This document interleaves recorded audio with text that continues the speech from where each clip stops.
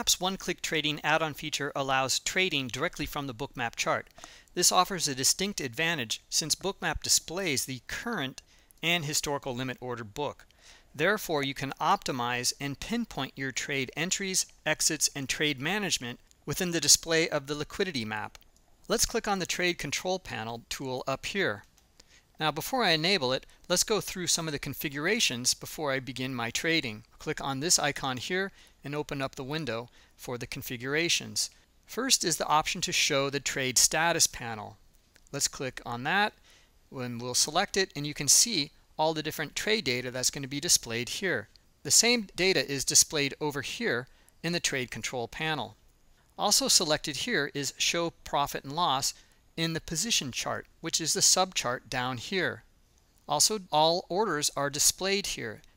This is important if you want to see all of your orders displayed. So select all here and you'll have executed, working, canceled, and order queue all displayed within Bookmap. I'll go over the orders queue feature in just a minute. Now let's go down to the subchart here and we'll display our profit and loss. I'll click on the configuration button here and I'm going to deselect all of my cumulative volume delta data and instead I just want to show here my profit and loss. You can also show your position size here with the white line. Now let's go up and enable the trade control panel. We'll click here and note that the padlock icon turns green and is open. This signifies that the current market window here is now active and live. So any clicking within this window is going to generate a trade. So let's set up our trade activity here. I'm going to use the order duration here of good till cancel. My stop order type, I'm going to use market. And my stop order duration, I'm going to use good till cancel. And then let's choose size here, volume of 1. I'm not going to go through the other buttons here and the other options as they are covered in a separate video. Also, I'm going to generate some simple orders here and not use the OCO, bracketed, or trailing stop order types here. Okay, so in the current market window, left-clicking in this window always generates a buy. Right-clicking always generates a sell. Now, depending on where you click in relationship to price, will determine the order type as well as clicking with key combinations. So let's go through an example of a market buy order. Left clicking is always a buy. So I'm going to left click above current price here. And you can see Bookmap has recorded where I clicked here at 2254 and a half. A beige dot appears. It also shows with a beige triangle where I got filled within the trade. Note that a beige horizontal line appears on the price ladder. This is my overall open position. It is the average price of my open position. Also note that the trade data now appears in the trade control panel over here, as well as my trade status panel up here, and in the profit and loss in the subchart down below. Okay, let's click on flatten to close this position you can see that Bookmap has recorded where I flatten a position here with a violet triangle.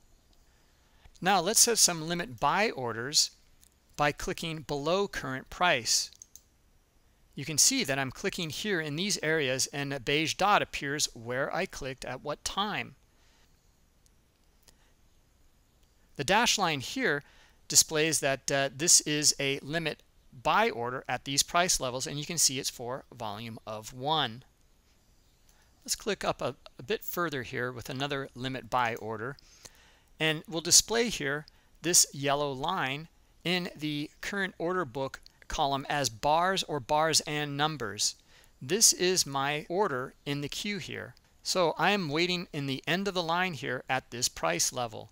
All of this liquidity here is in front of me and my order will get filled once either all of these orders are filled before me or they're pulled before me.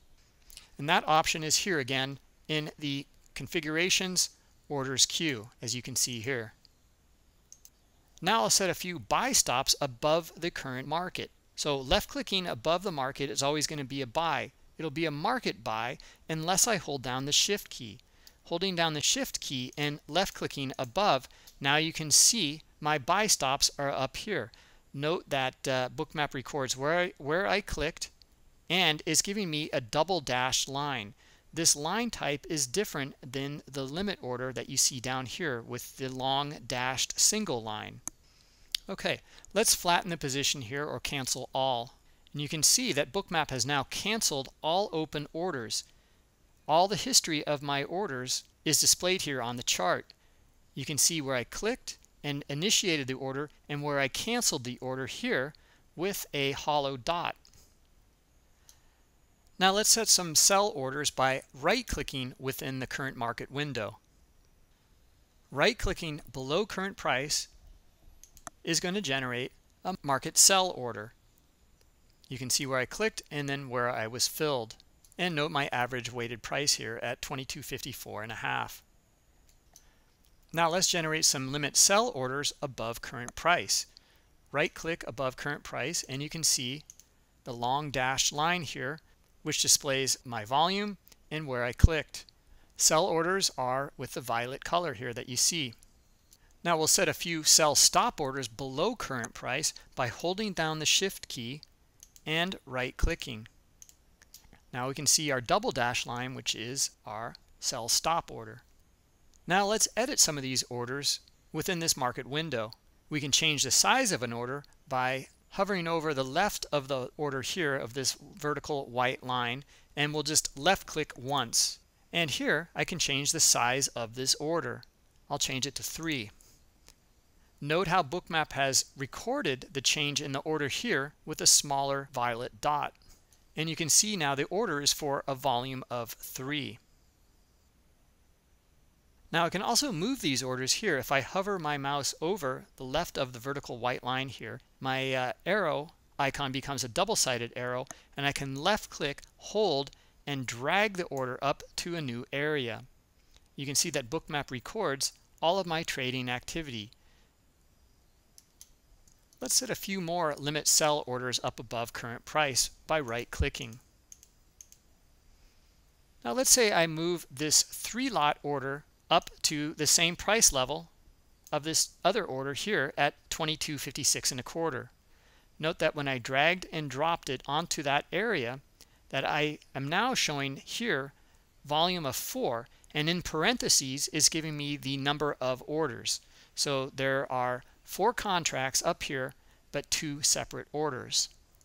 Now you can left click hold and drag and separate out those orders and move each order individually or you can hold down the control key and we'll move each order, left click, hold and drag and move all of them at once. And you can see now that all orders have been moved to this one price level of 22.57.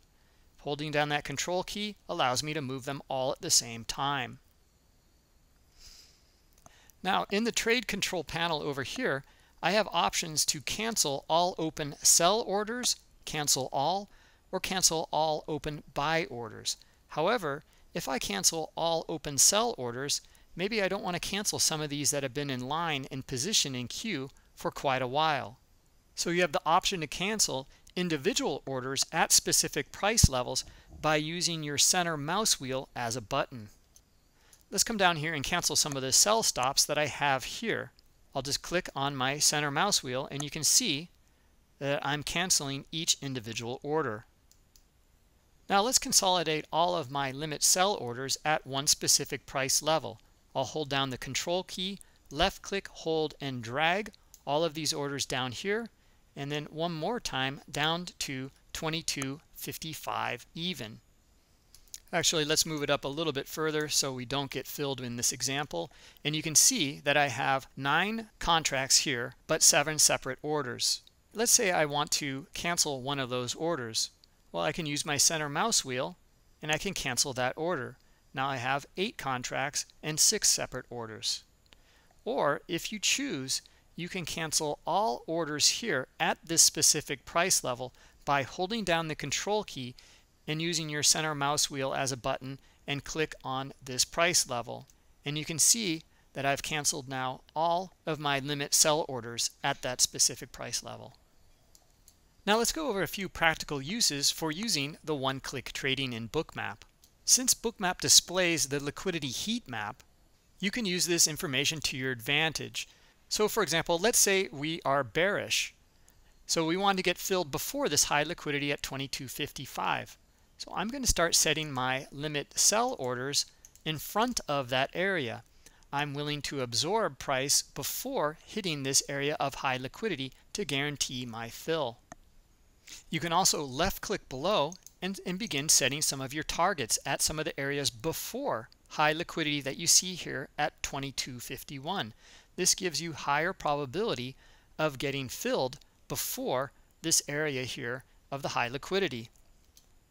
Bookmap's one-click trading also allows you to utilize the API configuration up here. Let's click on that and opens the window for some automated trading strategies that are available for you here. You have the chase, escape, and execute strategies. Now these strategies are covered in a separate video, but basically they are looking for order book imbalances to find an opportunity for an optimized trade. Let's close this window and please watch that video for further information. So you can see the advantage that Bookmap gives with the one-click trading. All of your trading activity is precisely recorded here historically, and it also allows you to quickly and intuitively react to price within the current market window. This will allow you to optimize and pinpoint your trade entries, exits, and your trade management.